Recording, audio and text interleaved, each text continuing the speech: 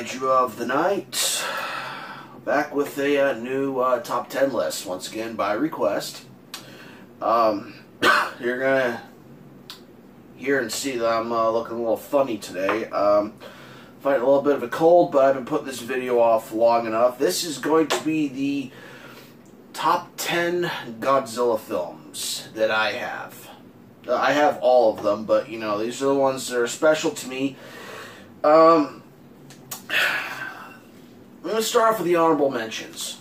Some of these uh, films I put in the honorable mentions are so big towards the Godzilla franchise that to put them on the list, they, I pretty much there'd be a few movies on this list that pretty much take up the whole thing. So um,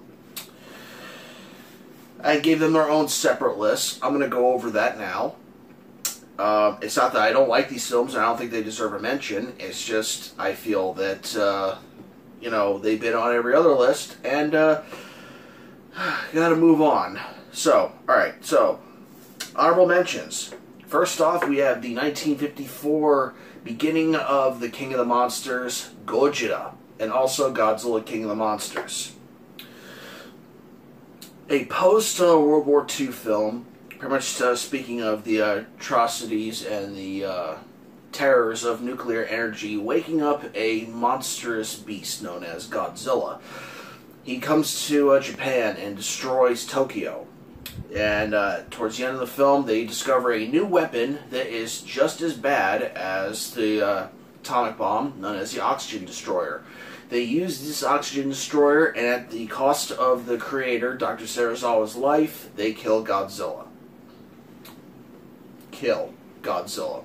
So depends on uh, which version you watch, and depends on uh, what follow-up films you watch. Uh, but yeah, in the original version, they do kill off Godzilla, and in other films, they reference the idea that maybe it didn't kill him, but he did. Moving on.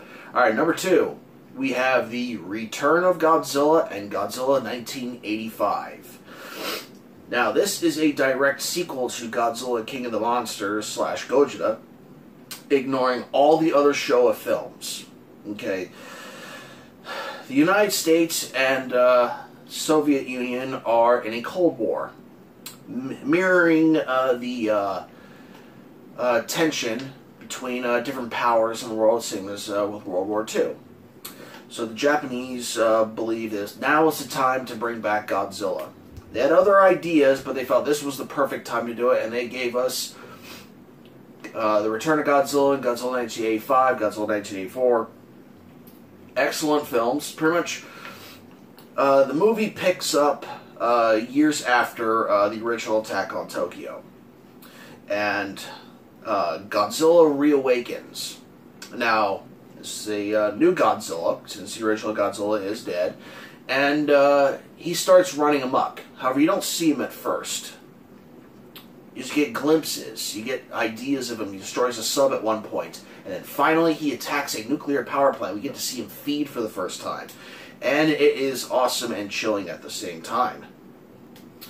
They devise a plan. The, uh, the Japanese devise a plan to defeat Godzilla with a new weapon called the Super X. It's a uh, flying uh, aircraft, which is really cool. It has an awesome fight sequence with Godzilla in the film. And with the help of uh, bird calls and uh, Mount Mihara, the volcano, uh, they are able to subdue Godzilla, not kill him. Godzilla 1985 an underrated film. I wish they would give that an actual Blu-ray release. I do have a version of it on DVD. Um, Milo, stop. It's pretty much a port of the uh, VHS copy onto a DVD format. And, uh, you know, it gets me by. Things are uh, reworked a little bit from uh, the Japanese version. Um, some have uh, dubbed this film uh, the Ronald Reagan version. Um, yeah, there are. You can if you see both films, you will see immediately the uh, cuts and the re-edits and the extra footage added, and pretty much bring back uh, Raymond Burr to play as Mr. Martin. But they don't call him Steve Martin because of the uh, comedian uh, Steve Martin was really big and famous. They want to get people confused. Yeah, they get Raymond Burr and Steve Martin mixed up. Yeah, okay. So, that's that. Next on the honorable mentions is King Kong versus Godzilla. Outstanding film. Uh, a film that has been mired in controversy since the uh, release of Kong Skull Island and the uh, prospect of a MonsterVerse here in the U.S., people have been discussing uh, King Kong versus Godzilla a lot. It is an awesome movie, but a lot of the discussion is that there's two endings to the film. Technically, there are two endings, but they're not as different and black and white as one would say that they are. In the US version, they did change and add a lot of things to it and cut a lot of uh, Akira Ifukube's music, which really annoyed me, but you know, they added some uh, American actors to move the story along, and uh, at the end of the film, Kong emerges from the ocean and roars, seemingly victorious. It wasn't until years later I actually got a copy of the Japanese version, and then I got a better quality version of the Japanese version. In both instances, when Kong reemerges and he roars, and we get the end credits uh, title, Godzilla then immediately roars, seemingly that the fight's not over, and there could be a sequel someday. Now, the thing that they are hinting at after Kong Skull is not going to be a sequel, but um, the dual ending where the Japanese version, the Godzilla wins, and the American version, Kong wins. No, it's not that way. Um, just look at it as a fun monster movie. Two awesome monsters coming together, being great. Okay. Next on our honorable mentions is Godzilla vs. Gigan. An awesome tag team brawl with Godzilla and Anguirus working together against Gigan, a new threat from uh, space, and another space baddie, King Ghidorah. Awesome uh, tag team match against uh, these two teams. Essentially, a uh, cockroach alien race comes to Earth and wants to conquer it because, once again, humanity is messing up the Earth. And they're like, oh, we're going to make it better and all that other stuff, blah, blah, blah. And, yeah, awesome movie. Give it a watch. Alright, now, this next movie is probably the silliest, the campiest, and one of the most hated and loved Godzilla movies. You know, this is a very polarizing. If you want to look up polarizing movies, or of Godzilla movies, this one is it. Godzilla versus Megalon. Originally, this was supposed to be a uh, Jet Jaguar film on its own, but they roped in Godzilla, they roped in Gigan, and made another awesome tag team match and uh, fun stuff. Very campy, very goofy. Gotta love it. I love the film. When I was younger, I didn't know what to make of it, but as an adult, it's lots of fun. Especially the Japanese version. It's a lot more dead bodies in the Japanese version, but uh, yeah. Last on the honorable mentions list. Okay, uh, this film is actually reviled by a lot of uh, G fans. Um, okay. Um, Godzilla versus Space Godzilla.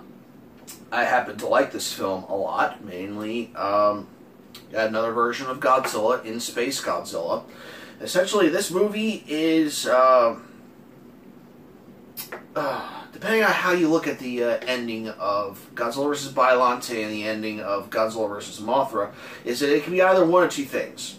Either part of Biollante got sucked into a black hole and collided with a crystalline entity and created Space Godzilla, which makes more sense if you look at Space Godzilla compared to Biollante. They're almost identical. Okay, they got the same tusks, they have the same roar, they have the same uh, lust for fighting Godzilla. So there's that theory, which I believe that's the theory that's supposed to go along with.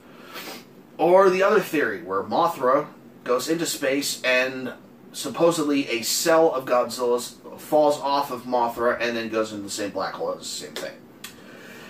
It's a fun movie. Um, the music isn't really that good to it. Uh, this film got its budget cut severely because of um, another film produced by Toho earlier in the year, uh, not doing so well.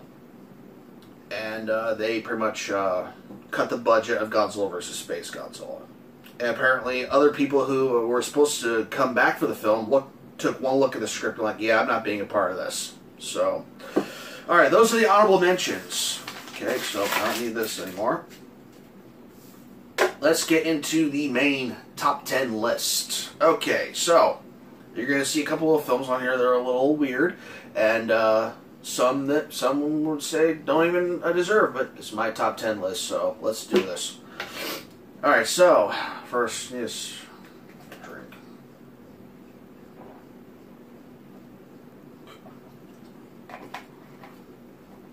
Alright, so number 10, starting off, we have a tie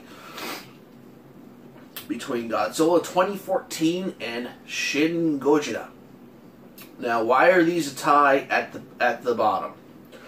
Well, they are both uh, iterations of Godzilla for the modern age, telling new stories and uh, reintroducing us to uh, the King of the Monsters in a new way, and uh, bringing all brand new fancy technology to help bring him to life. Uh, not exactly following uh, original iterations. I mean, Godzilla 2014 kind of does, but it doesn't go full on anti uh, World War II and atom bomb stuff. It's kind of they tied it to that as a segue into the future, where Godzilla 2014 happens, where Shin Gojira was actually taken after a massive tsunami that hit uh, Japan.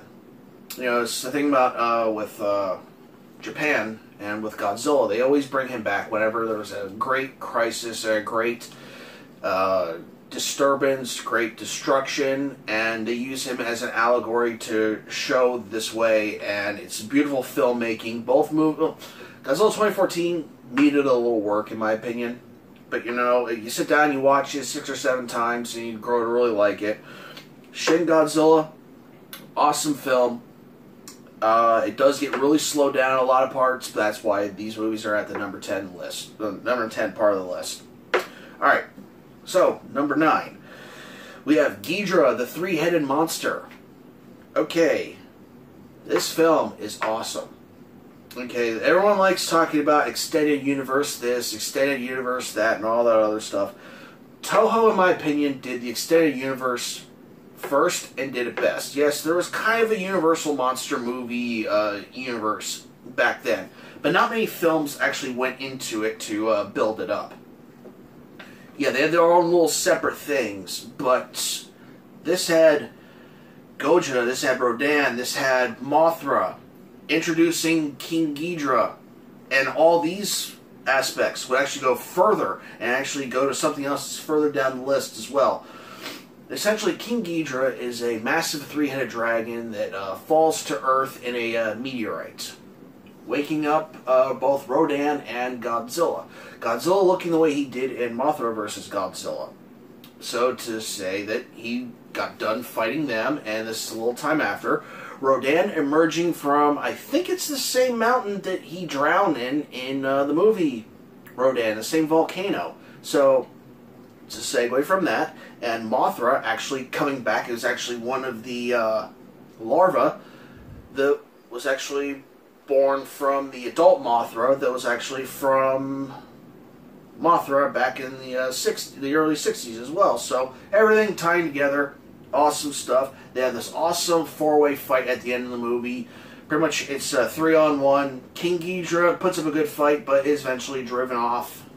Great movie. Great introduction. Okay, number eight. Yeah, perhaps another one of those really hated Godzilla movies that I seem to be one of the only ones that like it. Um, yes, this movie has problems. This movie has a lot of problems. The mutants are stupid. The acting uh, from the other countries is dumb. And the whole alien invasion thing feels very awkward throughout the movie. But making it to the list of movies I just like to watch is Godzilla Final Wars. And what saves this movie for me is Godzilla. Well, that and uh, Captain Gordon as well. But anyway, Godzilla. He returns from being frozen at the beginning of the movie, and he fights off like 10 different kaiju, including a brand new one named Monster X that transforms into the upcoming 25 centimeter large monster series, Kaiser Ghidorah.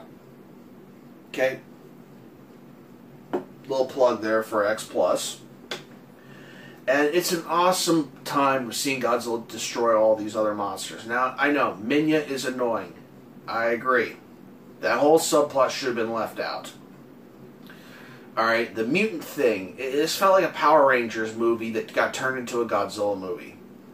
This was originally supposed to be the end of the Godzilla franchise back in 2004, and they crammed all these weird, bombastic things into it that just didn't really gel with a lot of people. I understand why, but in my opinion, Godzilla saves this movie as he should have. Number seven. Shout out to uh, Mr. Venegas and Toys and Games. We have Godzilla versus Biollante. After the return of Godzilla, Godzilla is still inside of Mount Mihara until some terrorists uh, put bombs around Mount Mihara and say, We want the anti nuclear energy bacteria from Godzilla cells so that you guys can't use it because they want money. And, uh, yeah, do it or we'll release Godzilla. Well, the timer isn't set uh, off, the, the, bombs go off, and Godzilla escapes Mount Mihara, comes back to Japan as we see this uh, Dr. Shiragami has taken plant cells that he believes has the soul of his daughter Erika and mixes them with Godzilla cells, creating this giant super plant kaiju monster known as Biollante. battles with Godzilla. Godzilla whoops Biollante the first time, but then the second battle happens. And it's a doozy, and it's kind of implied that Erika's soul is in Biollante. You have to read into that if you want to. But, uh, great film. Godzilla looks great in this movie. Biollante, awesome addition to the film. It was actually written in by a student from a local school, and uh, they made it into a movie. So, yeah, Maybe one day one of my ideas could be made into a Godzilla movie. Who knows? Alright. So, number six, we have perhaps the most popular Godzilla movie. We have Mothra versus Godzilla, 1964. Okay, so massive storm hits uh, this island uh, where Mothra's egg is. Uh, loosening it, and it floats towards Japan. People want to start trying to sell it, and uh, it's eventually bought, and no money is exchanged. So I would have flat said, uh uh put the money in my hand first, and you can have the egg. Okay, and they want to uh, turn into a tourist attraction, bring back the Shobijin from uh, the original Mothra film and they're trying to discuss a way to get the egg back to Mothra, or it's going to make Mothra angry, and Mothra is going to attack everyone. Meanwhile, a uh, the the storm hits and it destroys this part of Japan. They're doing the cleanup, and eventually Godzilla awakens from the rubble, and he goes on his goal rampage. Godzilla looking amazing in this film yeah, the eyebrows from what people from what I heard people don't like, but you know I think it gives the suit character. He looks awesome. He eventually finds the egg. He wants to break it open and have himself uh, some uh, Mothra egg salad, I guess, whatever. Until adult Mothra arrives, they battle. Godzilla defeats her. The babies uh, wake up. Godzilla's still destroying stuff, and they have a climactic duel on an island. I didn't like the ending, but Godzilla had to go at the end because he was the bad guy. You got to beat the bad guy at the end of the movie. Okay, so all right, that was that was uh, number six. All right, number five. One of the most depressing and heartbreaking Godzilla films ever made. We have Godzilla vs. Destoroyah. A uh, nuclear uh, incident happens on Birth Island where Godzilla and Little Godzilla were living, and both of them seem to be missing until Godzilla arrives in Hong Kong, glowing red, huge red patches and steaming uh, coming out of his body. Pretty much looks like a big old nuclear reactor. destroying everything. Come to find out that Godzilla is pretty much going to explode soon. As they're trying to figure out a way how to minimize the damage, because if he explodes, he's going to blow up the Earth.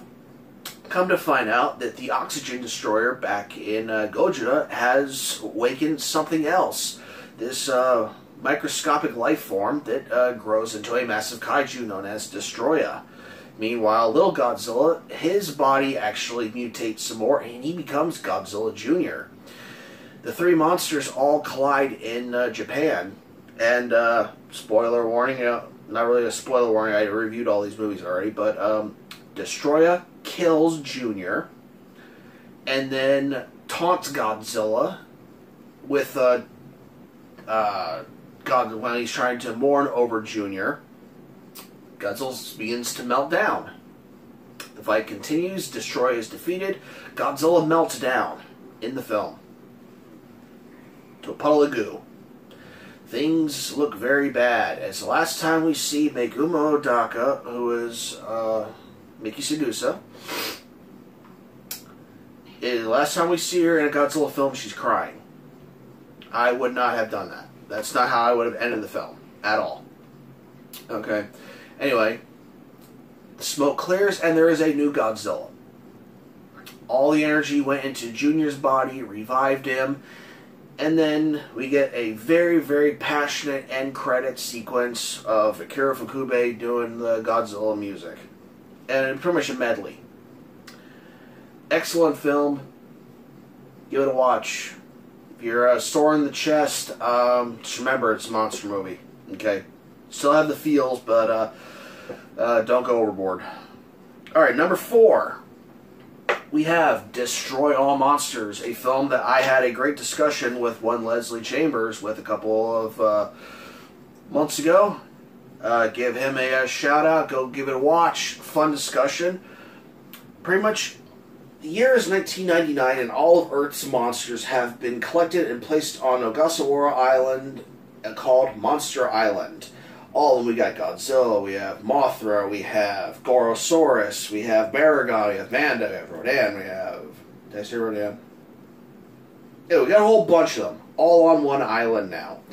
When all of a sudden, uh, this uh, benign yellow stuff starts coming out of the island, knocking out all the monsters. Communication is gone.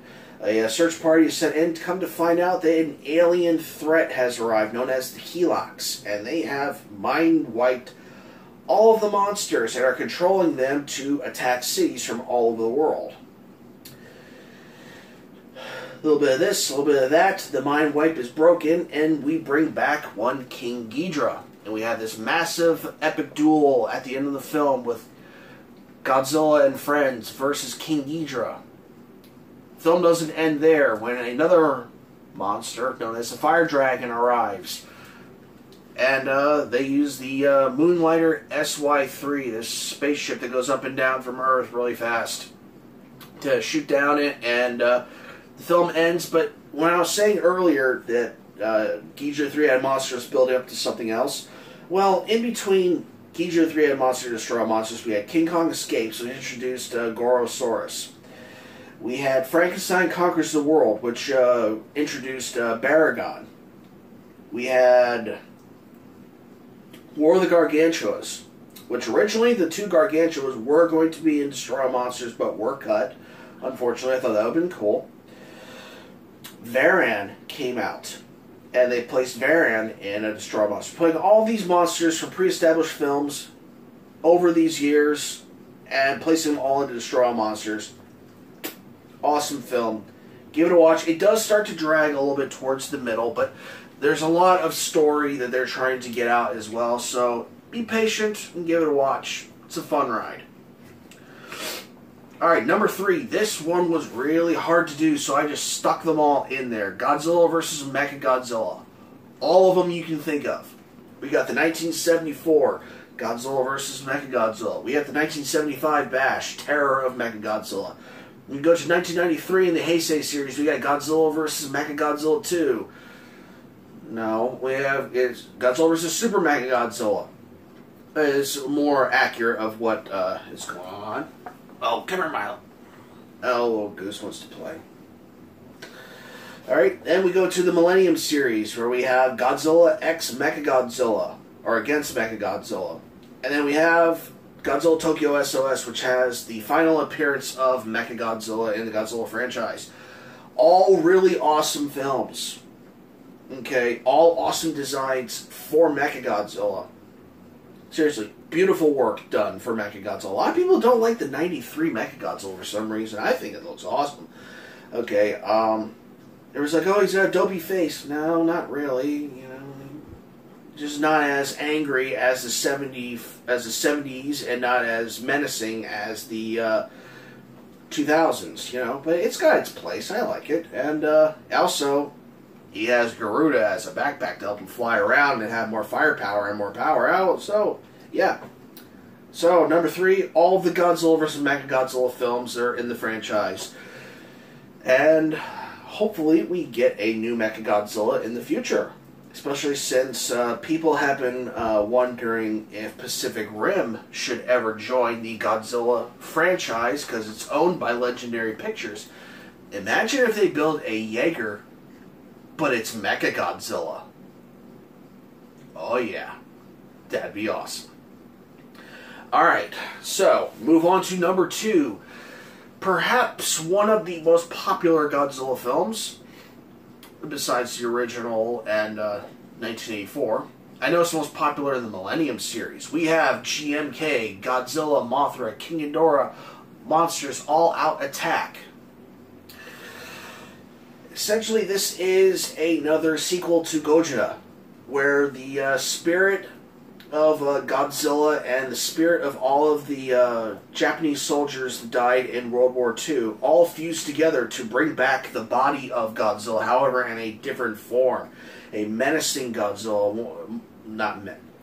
Okay, he's menacing in the original as well, but okay, he's got pale white eyes. His roar is a lot more angry. His atomic breath is so much stronger. He's able to waylace the cities in the matter of moments. He battles several other kaiju, some at the same time, and kills them back to back. Okay. This movie is awesome. It has a great spiritual sense to it, and it has a great story as well to it. Okay. The ending, how they deal with Godzilla, I thought was really cheap. But once again, he's the bad guy. They had to beat him somehow, so. Okay. Alright, I have one more honorable mention. One more. And it kind of contradicts what I said about Godzilla Final Wars, but I don't care. It's my list. We have Son of Godzilla.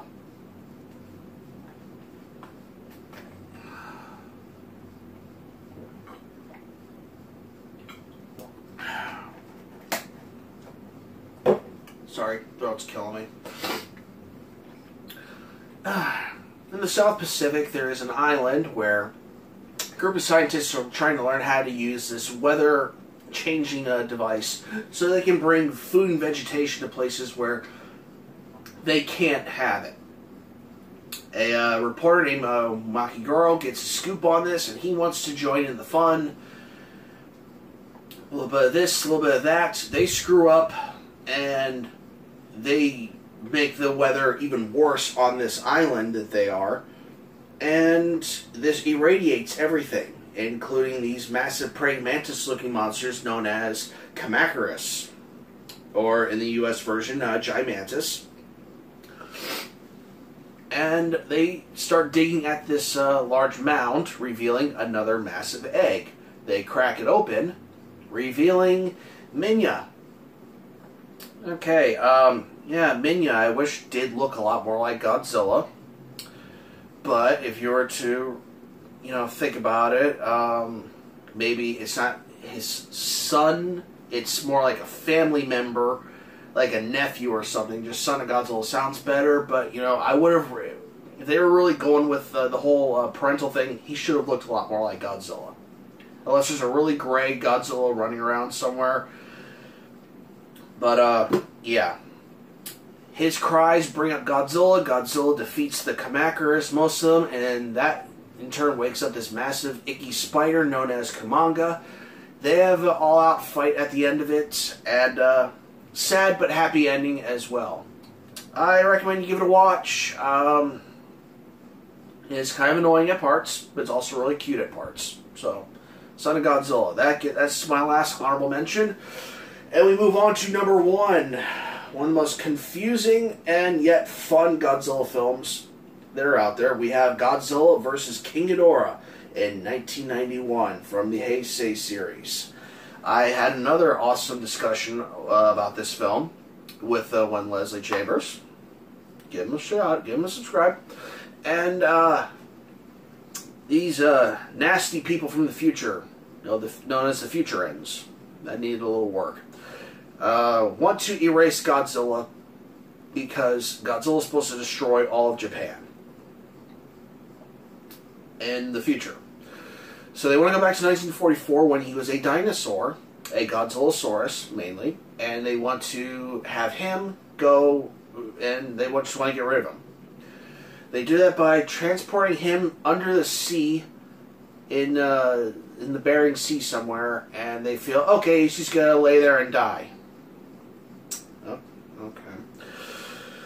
So here's the thing: if they get rid of Godzilla, that means everything in the world should change. Because without Godzilla, then Japan should be a very different place. However, when they return, everything is the same. But now King Ghidorah has uh, emerged and King Ghidorah is being controlled by the Futurians, and begin they have him destroy parts of Japan.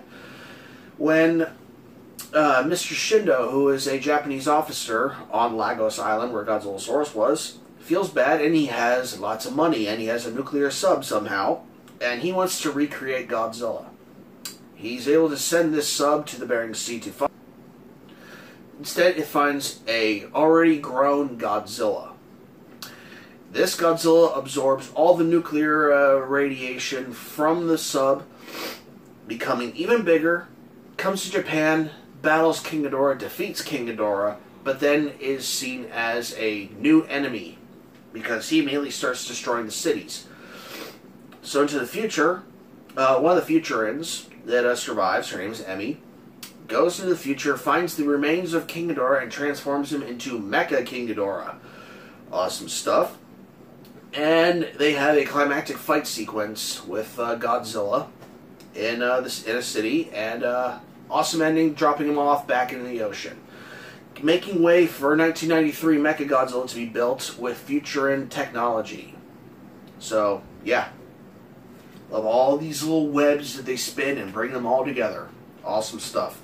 So that there is the top 10 Godzilla films that I have. Um, Hope you all enjoyed this. Um, I'm going to try and eat some soup. Because, yeah. Alright, don't forget to uh, comment, like, subscribe, share. Um, give my buddy Leslie Chambers a look because we did a lot of awesome discussions. Also, Mr. Venegas Toys and Games, awesome dude as well. Also, uh, Marty X, he's the one that did the uh, opening for uh, the video. And,